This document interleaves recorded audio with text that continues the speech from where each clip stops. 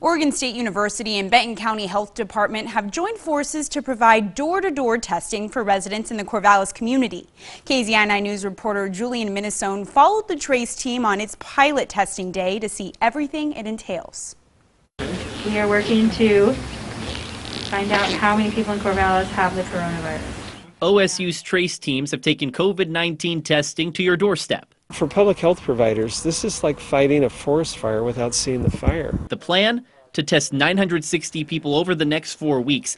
That adds up to just under 4,000 residents in Corvallis alone. What that'll do is give us a statistically accurate representation of Corvallis residents that have the virus. As for the test kits themselves, It's got a collection tube um, that includes uh, a liquid that inactivates the virus on contact.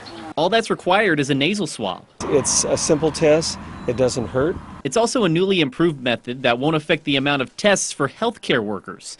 The teams went to approximately 20 to 30 houses for the pilot test day.